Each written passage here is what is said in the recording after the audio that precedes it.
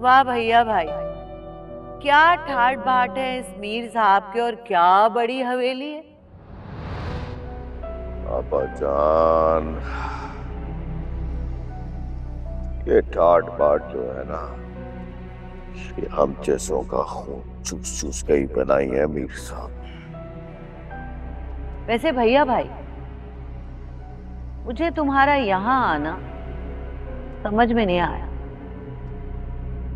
सारी उम्र तो इन लोगों ने हमारे खानदान का खून चूसा है।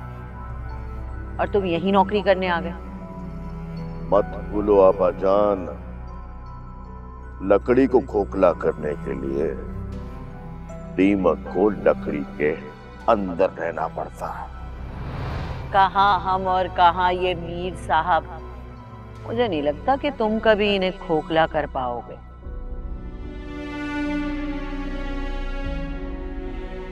मानता हूँ कि हम गरीब पैदा हुए हैं। लेकिन जब हम मरेंगे तो आप अमीर बनकर मरेंगे।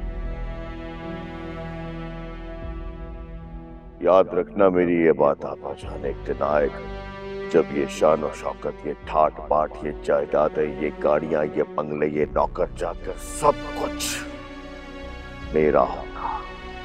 मेरा।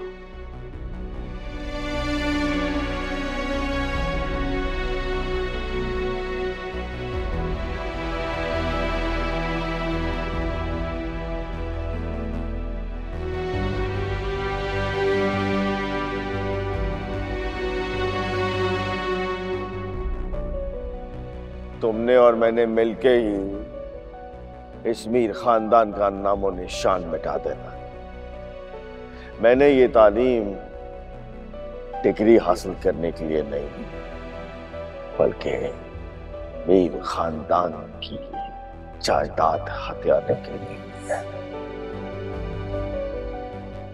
ये जायदाद मेरी है, सिर्फ़ मेरी मैं मालिक हूँ।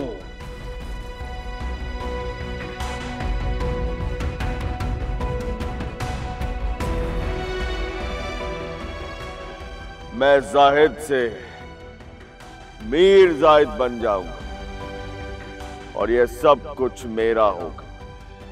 मेरा मेरा, सिर्फ़ मेरा। मीर जाहिद का।